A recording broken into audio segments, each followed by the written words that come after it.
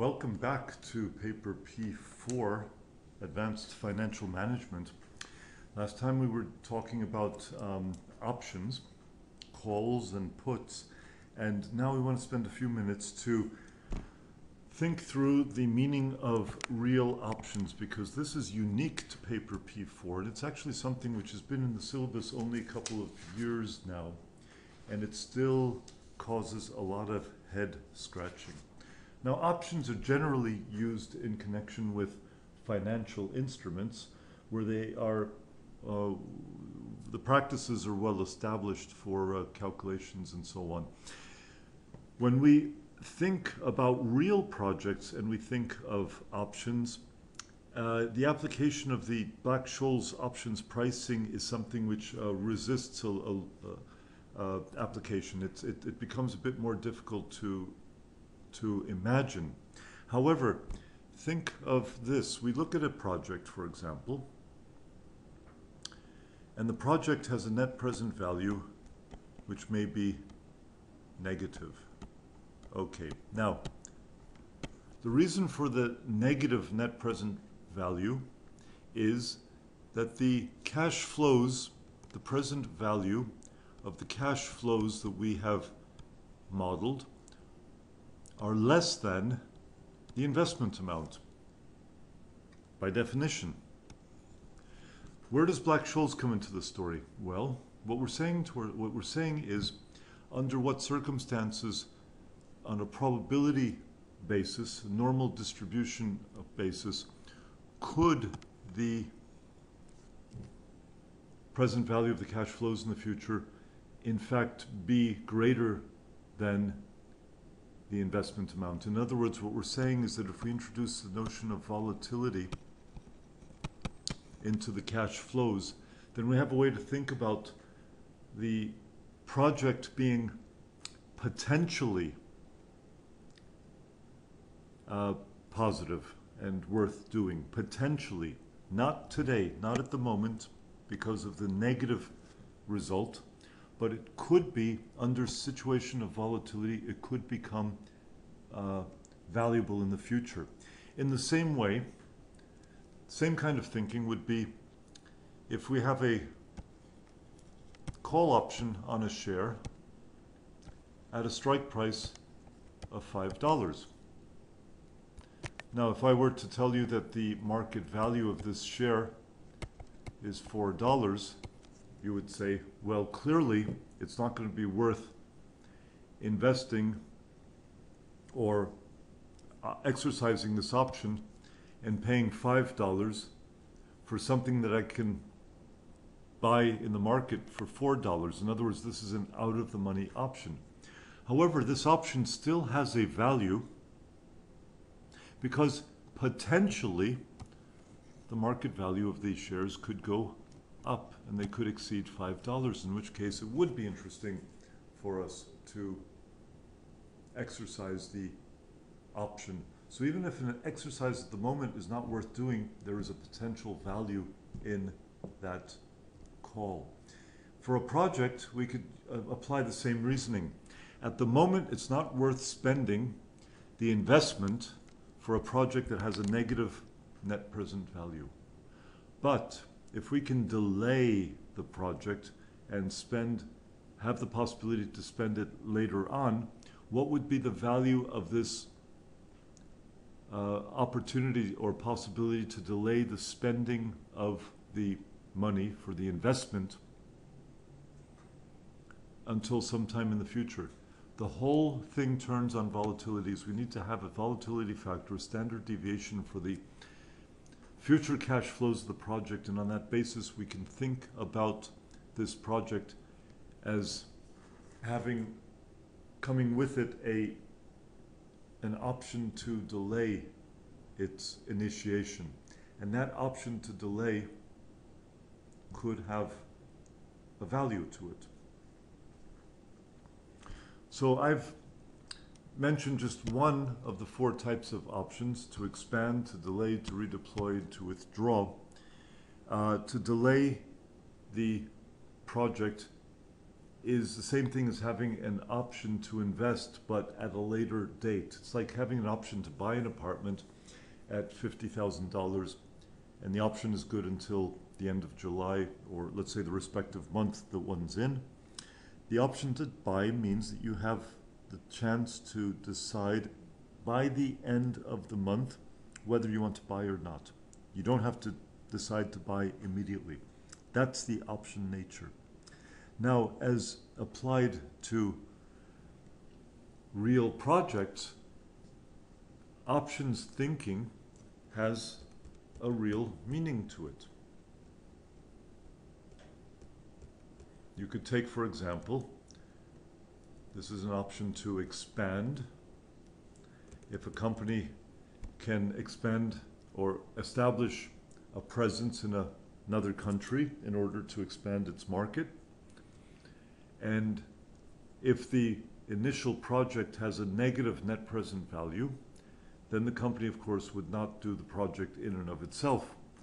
However, if there is a possibility to expand on this project in a second stage, then of course there may be value created by taking the first step, even if it's a negative net present value project, and having the possibility to expand later on. And that expansion needs to be valued in terms of the Black-Scholes options pricing model. You can see here that we need to have a volatility on the cash flows, standard deviation, and we need to be able to define the five features of a call option to be able to put together a view or a picture of the pricing of or the value of the call option that is implied in the story or in the scenario given here. Similarly, an option to delay can be structured, uh, as we said, as another as a call option. And on the other side, an option to withdraw or to redeploy assets can be understood or redefined in terms of a put option. And these are all um, uh, variations of the real options theme.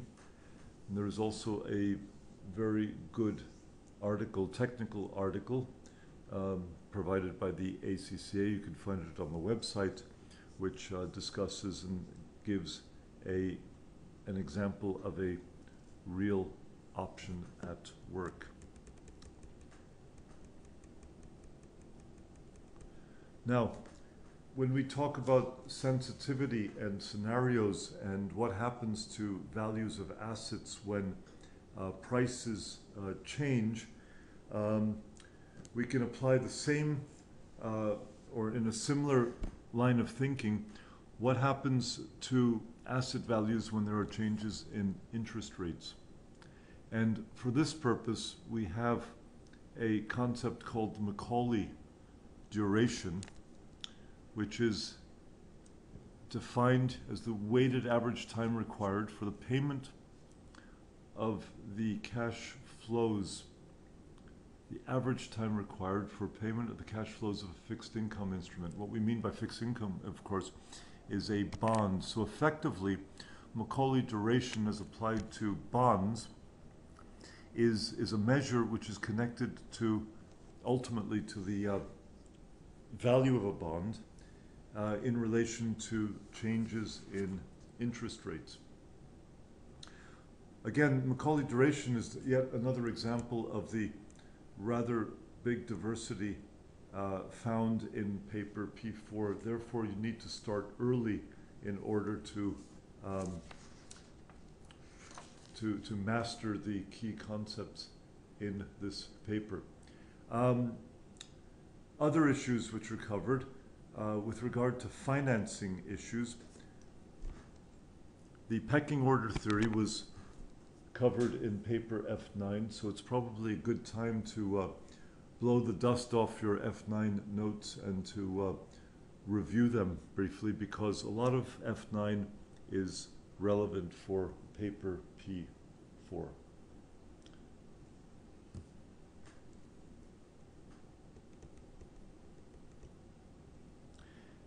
Just to move on to another topic, which has uh, got some attention in the P4 uh, syllabus, although not as much as in the past, is the adjusted present value. Now, this is based on a, uh, this is a, a net present value based um, approach to investment appraisal. However, it breaks the analysis into two steps. It looks at the NPV of a project as though it were 100% equity financed. That's called the base case. And then it separately uh, evaluates what the benefits are by using debt for the financing of the project. And here would be included, for example, the tax benefits of interest payments and so on. So the APV makes a separation between uh, the project as though it were 100% equity-based, uh, financed, and then looks separately at the financing of the project to see what the incremental benefits are. And it's possible, when you go through specific examples, be clear and be aware that even if the NPV of the base case is negative, it's possible that the financing package makes the whole thing positive.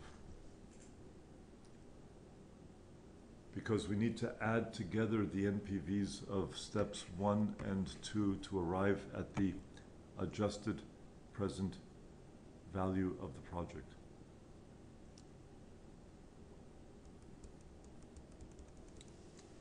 Now, of course, um, since we are doing investment appraisal also at the international level, we have to be aware of the influence of exchange rates.